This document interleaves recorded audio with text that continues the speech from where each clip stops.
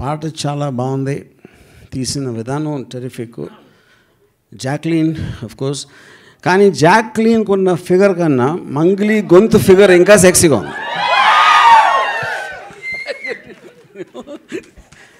Yes and and absolutely trailer నుంచి మనం చూడొచ్చు. I think it's going to be visual fes festival and eagerly waiting for twenty eighth and especially I want say one more thing of course Anup Bhandari everybody knows Rangitaranga and extraordinary blockbuster hit ఆ టైంలో తీసింది. తన నుంచి ఇలాంటి ఎంత different film వస్తుందని కూడా నేను నేను ఎక్స్పెక్ట్ చేయలేదు. And every wait is surprising and one అంటే ఇప్పుడు సుదీప్ ఆఫ్ కోర్స్ తనకున్న వర్స్టాలిటీ అందరికీ తెలిసిందే ఎలాంటి రోల్ అన్న చేయటం అనేది. And I think this film in my opinion is the best performance of his career ఇప్పుడు కన్నడ ఫిలిమ్స్ అనేది మనం అంటే ఇక్కడ అందరూ తెలుగు ఉన్నారు ఎన్ ప్రసాద్ గారు అందరూ ఉన్నారు ఇక్కడ. ఆల్మోస్ట్ ఒక అంటే ఏదో పక్కన ఒక చిన్న పల్లెటూరులో సినిమాలు తీస్తున్నారు అనే ఒక ఫీలింగ్ ఉండేది ఇంతకుముందు. ఇప్పుడు ఇవాళ రోజున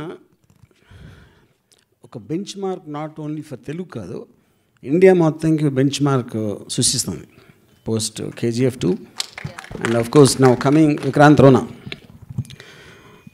ఇప్పుడు విక్రాంత్ రోనా సినిమా నేను అంటే నాకు సుదీప్ చాలా క్లోజ్ కాబట్టి అంటే త్రీ డీ సీజీ ఎఫెక్ట్లు రాకముందు నేను ఒక రఫ్ వర్షన్ నేను చూడటం జరిగింది. And I was really zapped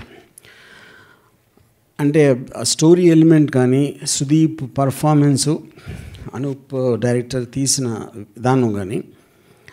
And I think maybe the best fight sequences నేను ఈ మధ్య కాలంలో నాకు గుర్తులేదు. అంత ఎక్స్ట్రాడనరీ ఫైట్ సీక్వెన్స్ ఉన్నాయి సినిమాలో. విజయ్ నాకు ఇక్కడ తీయకుండా కన్నడలో తీయడం ఏంటి అసలు నాకు అర్థం కావట్లా? ఇదేంటి ఏమిటి నమ్మక ద్రోహం?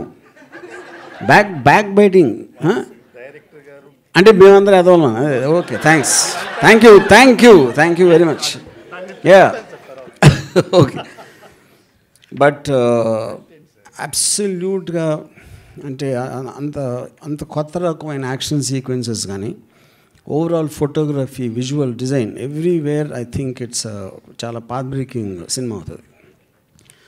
ఇప్పుడు నేను కూడా త్రీ ఇప్పుడే ఫస్ట్ టైం చూశాను. ఎస్పెషల్లీ పాట.